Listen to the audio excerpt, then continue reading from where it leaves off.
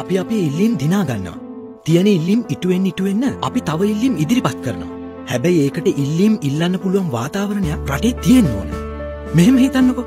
මම මේ පෝස්ටර් එක අඳින්න කලින් මට බය හිතෙනවනම් මම රෑට පාරේ යද්දි වෑන් එකක් ඇවිත් මාව උස්සයි කියලා. ඉල්ලීම් ඉල්ලන්න බෑනේ. අපේ ඉල්ලීම් ඉල්ලන්න. ප්‍රශ්න කතා කරන්න පුළුවන් නායකයෙක් ඉන්න රටක් නේද අපි මේ සැරේ හදන්න ඕන. ඔබට ඕන රට හදන්න එන්න